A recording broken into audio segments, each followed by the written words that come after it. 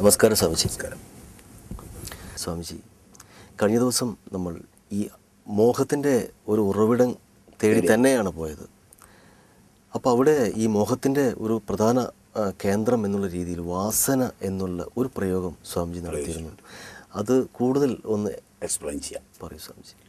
അതായത് സംഘമാണ് അല്ലെങ്കിൽ ചേർച്ചയാണ് ആഗ്രഹങ്ങളുടെ ഉറവിടമെന്ന് നമ്മൾ എല്ലാ ചേർച്ചയും ആഗ്രഹത്തെ ഉണ്ടാക്കുന്നില്ല എന്നും പറഞ്ഞു. എന്നും പറഞ്ഞു. മര്യാദാമസൃണമായ കൗടുംബിക പാരസ്പര്യങ്ങളും ഗോത്ര പാരസ്പര്യങ്ങളും ആവശ്യത്തെ ജാജ്വല്യമാനമാക്കുന്നേ ഉള്ളൂ എന്ന് നാം പറഞ്ഞു. അതെ. പഴയ മനുഷ്യർ അവരുടെ ഗോത്രത്തിലുള്ളവർ തന്നെയാണ്. അവരോടൊപ്പമുള്ള സെക്രട്ടറിയും പ്രസിഡന്റും ഒക്കെ ആയിട്ട് വരിക. ഗോത്രത്തിന് ദോഷം വരാതിരിക്കുവാൻ ആ കൂട്ടായ്മ ശ്രദ്ധിക്കും. ഇന്ന് ഗോത്രാന്തര ബന്ധങ്ങളിലാണ് ഗോത്രം നിലനിൽക്കുന്നത്. ഗോത്രങ്ങൾ നിലനിൽക്കുന്നത്. ഗോത്രാന്തര ബന്ധങ്ങൾ വരുമ്പോൾ അധർമ്മത്തിന് തുറന്നിട്ട വാതിലാത്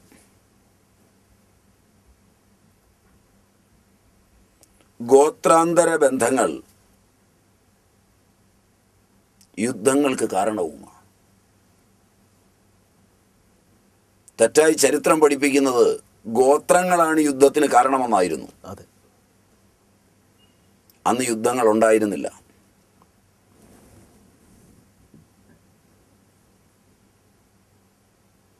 മതങ്ങൾ തമ്മിലുള്ള ബന്ധം നേതൃത്വത്തിന്റെ ലോകങ്ങളിൽ കൂടുകയും.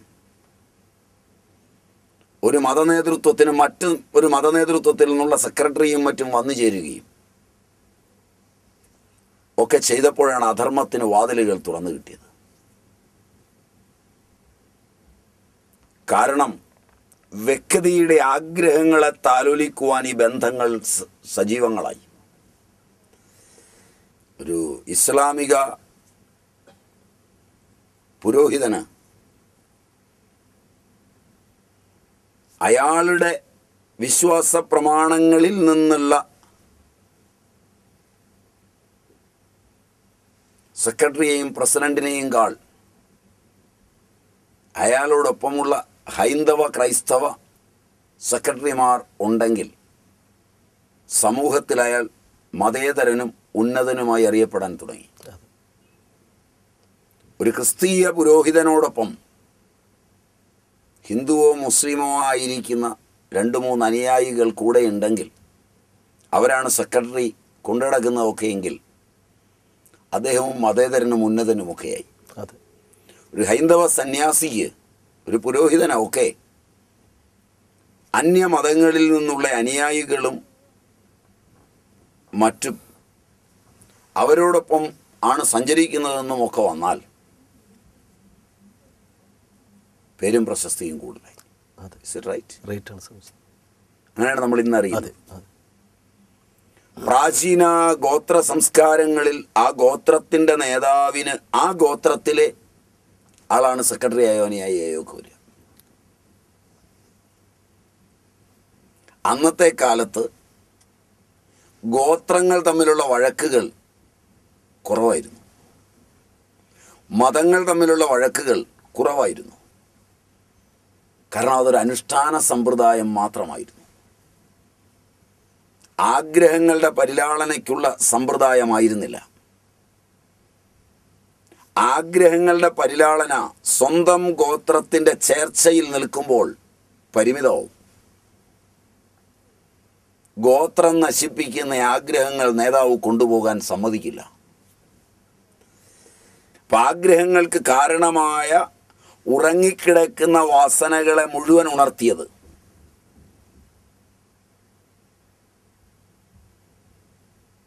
അങ്ങനെയാണ്. സംഘത്തിലൂടെ. സംഘചേർച്ചയിലൂടെ. തീർച്ചയായും. ഞാനിന്ന് ഇവിടെ നിന്ന് ഇറങ്ങി. അങ്ങയെയും കൂട്ടി പോകുമ്പോൾ ഒരു ഷാപ്പിൽ കയറി കള്ളു കുടിക്കണമെങ്കിൽ തീർച്ചയായും എനിക്കൊരു മതമുണ്ടെങ്കിൽ അതിൽപ്പെട്ടവൻ അറിഞ്ഞാൽ നാളെ എനിക്കത് ദോഷമായി തീരും എന്റെ വിശ്വാസത്തിലല്ലാത്ത ഒരു സ്ഥലത്തുനിന്ന് കുടിച്ചാൽ എന്നെപ്പോലുള്ളവൻ എന്നും കുടിക്കാൻ ചെന്നാൽ അയാൾക്ക് ലാഭം ഉണ്ടാവും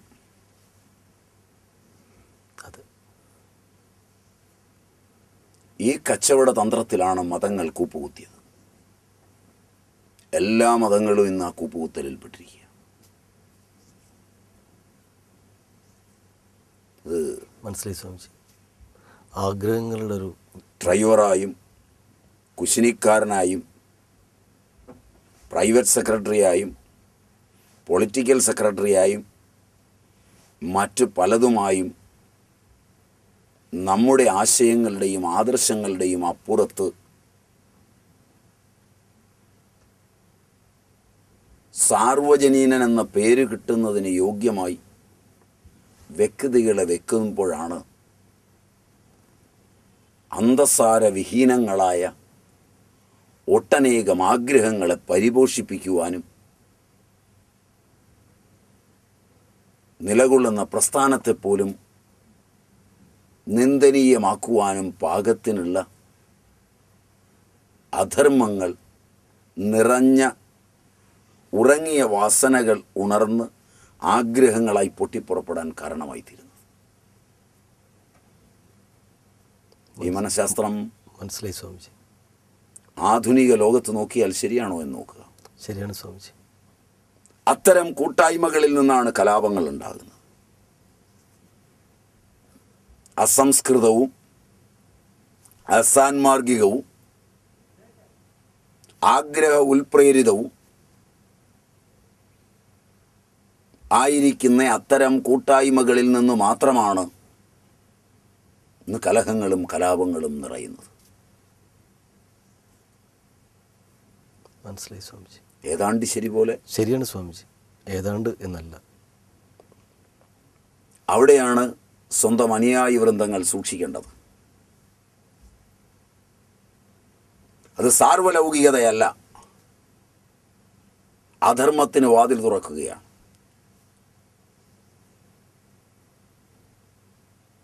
സാർവജനീനതയല്ല. മനസ്സിലായി സ്വാമിജി. ഓരോന്നും അതാതിന്റെ തലങ്ങളിൽ ദേശീയവും കാലികവും ആയിരിക്കുന്ന നിലയിൽ അന്ധക്കരണം ശുദ്ധമാകുന്നതുവരെ നിലകൊള്ളുന്നതൊന്നും പരസ്പരം അടിച്ചില്ല കൊന്നില്ല മാറ്റിയെടുക്കാനും ശ്രമിച്ചില്ല. ഇത് വളരെ രസകരമായ ഒരു രംഗമാണ്. അങ്ങനെ അപഗ്രഥിച്ചാൽ. അതെ സ്വാമിജി. അവിടെയാണ് മനുഷ്യന്റെ കൂട്ടായ്മ അപകടകരമാണെന്ന് നാം തുടക്കത്തിൽ പറഞ്ഞത്. അതെ. മനഃശാസ്ത്രത്തിന്റെയും ജീവശാസ്ത്രത്തിന്റെയും ഒക്കെ ദൃഷ്ടികോണത്തിൽ മനുഷ്യനിൽ അന്തർലീനമായിരിക്കുന്ന ആഗ്രഹങ്ങൾ അധാർമികങ്ങളായി കിടക്കുന്നിടത്തോളം കാലം സാധനാനുഷ്ഠാനങ്ങളോടുകൂടി അവന് കഴിഞ്ഞുകൂടാവുന്ന ഏക ചേർച്ച അവൻ പ്രകൃതിയാവുന്ന കുടുംബവും ഗോത്രവും മാത്രമാണ്.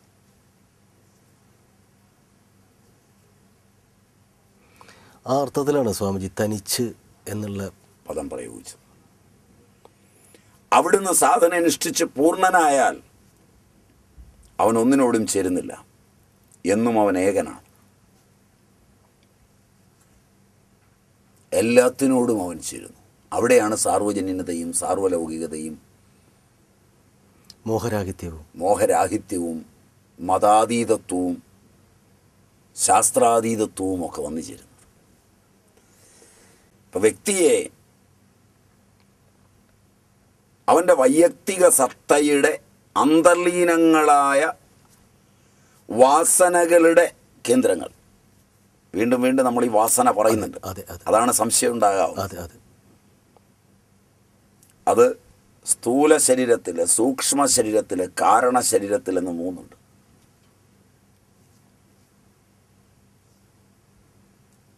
കൽച്ചട്ടിയിൽ വീട്ടിൽ രസം വെച്ച് കൂട്ടിയിട്ടുണ്ടോ? ഉണ്ട് സ്വാമിജി. ഭാര്യയോട് പറയുക രസം വെച്ച കൽച്ചട്ടി നന്നായി കഴുകുക വെളുത്തുള്ളിയും കുരുമുളകും പുളിയും ജീരകവും മല്ലിയും ഒക്കെ ചേർത്തുണ്ടാക്കിയ രസം കൂട്ടിയിട്ടുണ്ടല്ലോ. കൂട്ടിയിട്ടുണ്ട് സ്വാമിജി. അപ്പോൾ ആ രസം നന്നായി കൂട്ടിയിട്ട് ആ രസം വെച്ച കൽച്ചട്ടി നന്നായി തേച്ച് കഴുകിയിട്ട് വിമ്മിട്ട് കഴുകിക്കോളൂ അതിലൊരു കാപ്പി തിളപ്പിച്ചു കുടിക്കും. കായത്തിന്റെ രുചി ഉണ്ടാവും. ഉണ്ടാവും ഒരു മണമൊക്കെ ഉണ്ടാവും. ഉണ്ടാവും സ്വാമിജി. ശരിയാണ്? ശരിയാണ് സ്വാമിജി. ഇതുപോലെ നമ്മുടെ സ്ഥൂല ശരീരം കൊണ്ട് കണ്ണുകൾ കൊണ്ട് കാണുക ചെവി കൊണ്ട് കേൾക്കുക തൊക്കുകൊണ്ട് സ്പർശിക്കുക തുടങ്ങിയവ അനുഭവിച്ച് കഴിഞ്ഞ് അവയെ അവിടെ വിട്ടിട്ട് പോകുന്നില്ല. അവയെ നാം കുറച്ച് കൊണ്ടുപോകുന്നു. നമുക്ക് ആവശ്യമുള്ള തരത്തിൽ എഡിറ്റ് ചെയ്ത് അവയിൽ കുറേ അംശങ്ങളെ നമ്മൾ കൊണ്ടുപോകുന്നുണ്ട്. അത് നമ്മുടെ ചരിത്രത്തിനകത്ത് ചെന്ന് വീണ് കിടക്കുന്നുണ്ട്. ഒരു കമ്പ്യൂട്ടറിൽ നാം കണ്ട വെബ്സൈറ്റുകൾ. അത് കണ്ടു കഴിഞ്ഞാൽ അവയുടെ ഹിസ്റ്ററി നമ്മുടെ ഹിസ്റ്ററിയിൽ പതിയുന്നുണ്ട് കമ്പ്യൂട്ടറിന്റെ. അതെ. അവിടുന്ന് അതിനെ എടുത്ത് കളഞ്ഞാലും അത് നമ്മുടെ ഫയലിൽ എവിടെയെങ്കിലും പോയി കിടപ്പുണ്ട്. അവിടുന്നൊക്കെ എടുത്ത് കളഞ്ഞാലും ഇത് ഹാർഡ്വെയറിൽ എവിടെയോ പോയി കിടപ്പുണ്ട്.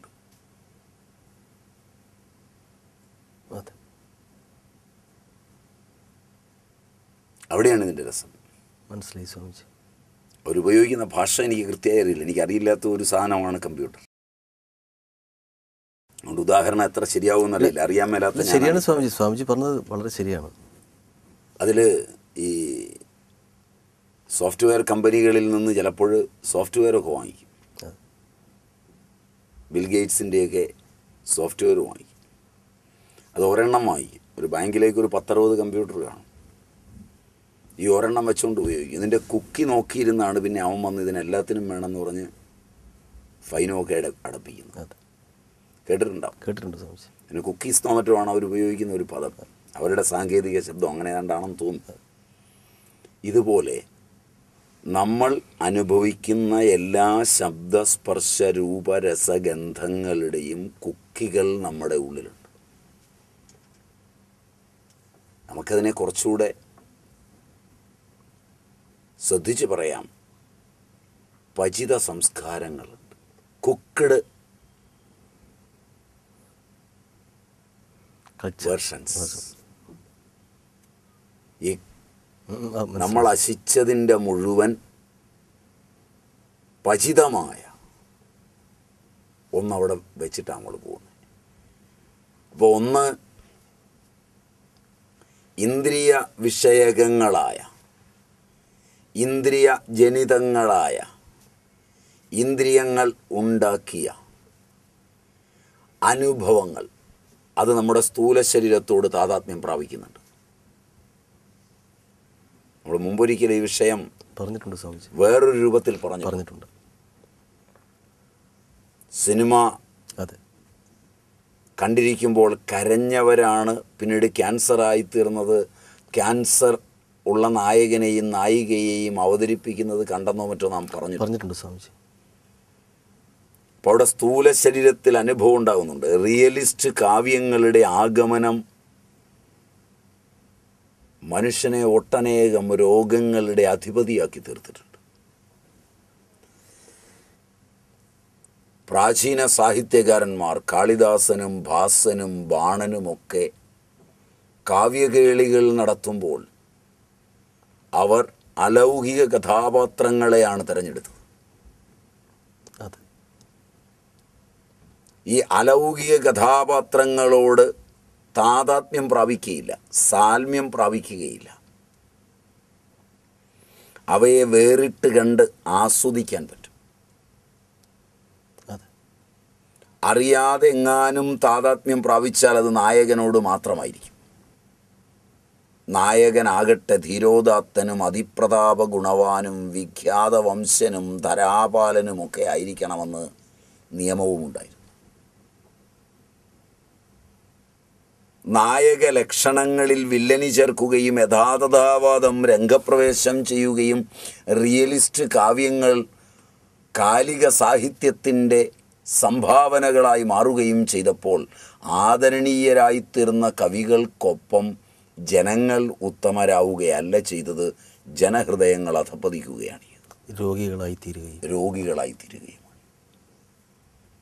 വർണാഭമായ ഈ ഒരു ചരിത്രമുണ്ട്. ഇതിന് കാരണം ഇന്ദ്രിയജനിത അനുഭവ ഉൽപ്പന്ന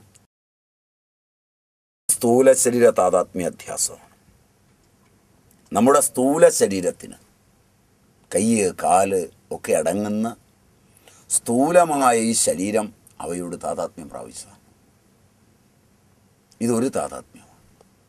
മനസ്സിലായി സ്വാമിജി. ഇന്ദ്രിയജനിത അനുഭവങ്ങൾ താതാത്മ്യം പ്രാപിച്ച് തൃപ്തി വരാതെ കിടക്കുന്നവ സ്ഥൂല ശരീരത്തിൽ നിന്ന് സൂക്ഷ്മ ശരീരത്തിലേക്ക് പറന്നുയർന്നു പോകും അത് സങ്കീർണോ? ജീവിതത്തിൽ എപ്പോഴാണോ നമ്മുടെ വിചാരങ്ങൾ നമ്മുടെ വികാരങ്ങൾ നമ്മുടെ ഭാവനകൾ ക്രിയാപ്രധാനങ്ങളായിത്തീരുന്നത് അതൊട്ടു വളരെയും ക്രിയാപ്രധാനങ്ങളാകുമ്പോൾ ഓരോ സക്രിയ പ്രവർത്തനത്തിലും നാം ശാന്തരാവുകയും വിശ്രമിക്കുകയും ആനന്ദമടയുകയും ആരോഗ്യമുണ്ടാവുകയും തന്നെയാണ് ചെയ്യുന്നത്. മനസ്സിലായി സ്വാമിജി. സത്യമാണ്. എത്ര ഭാഗം സക്രിയമാകാതിരിക്കുന്നുവോ ഭാവനയിൽ കിടക്കുന്നുവോ അതിന് പര്യാപ്തമായ കർമ്മേന്ദ്രിയങ്ങളില്ലാതെ വരികയോ അതിന് പര്യാപ്തമായ സാഹചര്യങ്ങൾ ഒരുങ്ങാതിരിക്കുകയോ ചെയ്യുമ്പോൾ അവയെല്ലാം നമ്മുടെ മസ്തിഷ്കത്തെയും നമ്മുടെ മനസ്സിനെയും ബാധിച്ച് ചിന്തയുടെയും ധ്യാനാത്മകതയുടെയും ലോകങ്ങളിൽ അസ്വസ്ഥത പരത്തി നിലകൊള്ളുകയാണ് ചെയ്യുന്നത്.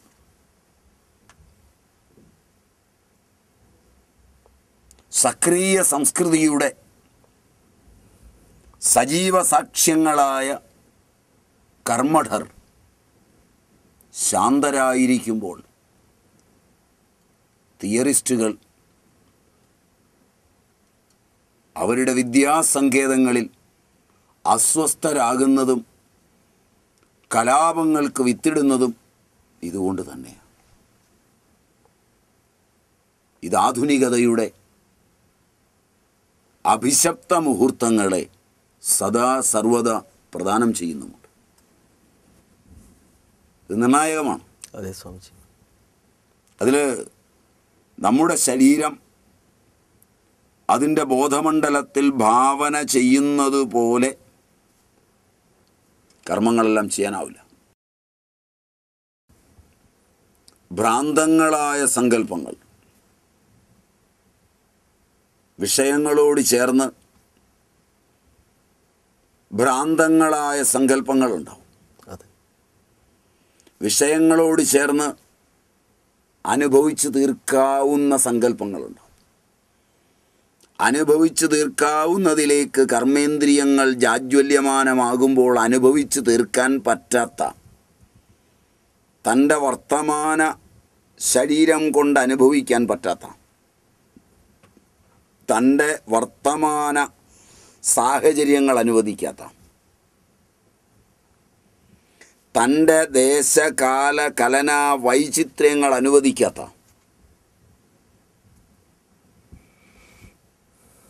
താൻ ജനിച്ചു വീണ സമൂഹം ജാതി മതാതി ബന്ധങ്ങൾ ഇവയെ അനുവദിക്കാത്ത ആഗ്രഹങ്ങൾ എങ്ങനെയാണ് സാന്ത്വനമാവും